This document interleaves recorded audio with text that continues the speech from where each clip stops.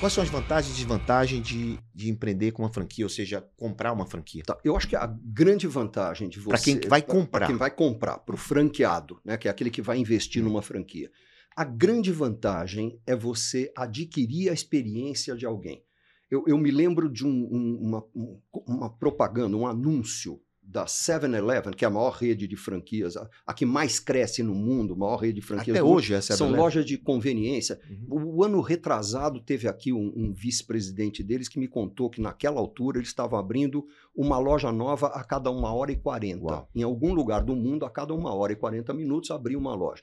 Mas a, esse anúncio da 7-Eleven é a foto de um jovem, jovem de blazer, com uma prancheta na mão, na frente de uma loja 7-Eleven. Tá na cara que ele é o dono daquela loja, hum. ele é jovem, ele tá super otimista e o título dizia o seguinte: é o primeiro dia dele nesse negócio.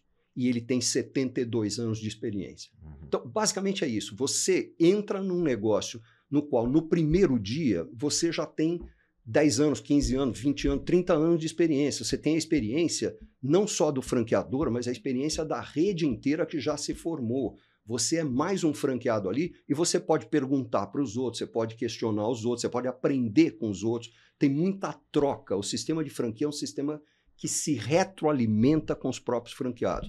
Agora, como é que você faz isso? Como é que você faz para escolher? Acho que a primeira coisa que você tem que fazer é se informar. Informação é tudo. Então, e não adianta ser preguiçoso.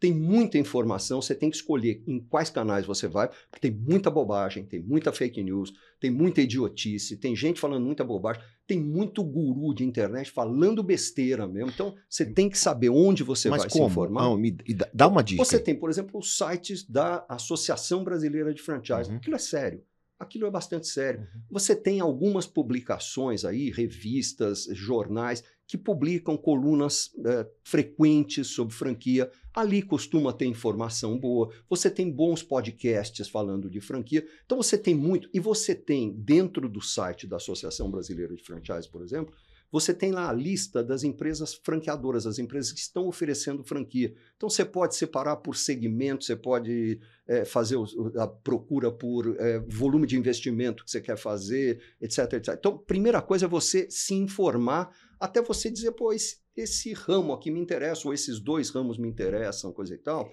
E aí você começa a pesquisar os franqueadores daquele ramo. Agora, tem uma coisa que é fundamental você tem que conversar com quem já é franqueado daqueles Isso, caras. Boa. Isso é fundamental. Boa. Porque eles, eles são você amanhã. É, eles exato. já passaram pelo que você está passando. E é muito engraçado. Ah, mas eles vão me dar informação. Você nem acredita quanto. É, mas também não, não, não, vá naquelas indicadas, não. Vai não, não, não. Pelo amor de Deus. Eu, eu digo sempre o seguinte: pega a lista com o franqueador, ele é obrigado a te entregar. Ele é obrigado a te entregar. Todo franqueador é obrigado a entregar 10 dias, no mínimo, antes de você assinar o contrato ou fazer qualquer pagamento ele tem que te entregar um documento chamado circular de oferta de franquia, que a maior parte de quem, das pessoas que estão procurando uma franquia tem preguiça de ler, uhum. porque é realmente um documento chato. É, do mesmo jeito que o João diz que detesta a planilha, mas revira a planilha, debulha a planilha, você tem que pegar aquele troço ali, debulhar, porque ali está a descrição do que de fato aquela franquia é. Porque se ali tiver alguma mentira, o cara pode parar na cadeia. Então ali tende a ser algo verdadeiro. Porque é uma oferta, né? É uma oferta de franquia como se fosse uma oferta, oferta de ações, pública, uma, oferta, oferta pública. pública. É aquilo ali é uma oferta.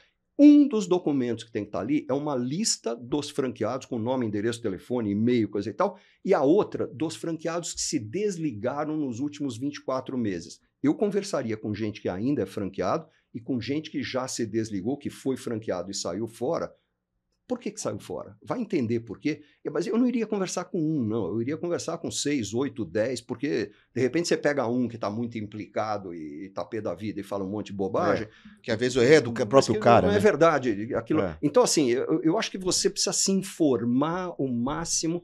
E é isso, olha, ah, antigamente existia uma, um slogan da Associação Internacional de Franchise, que aliás também o site tem muita informação útil para quem fala inglês, mas a International Franchise Association, ela tinha lá um slogan que era o seguinte: Investigate before investing. É uhum. investigue antes, antes de, de investir. investir. Não perca, toda quarta-feira, às 10 da manhã, o um programa Pivotando nos canais digitais de áudio e vídeo do SBT News.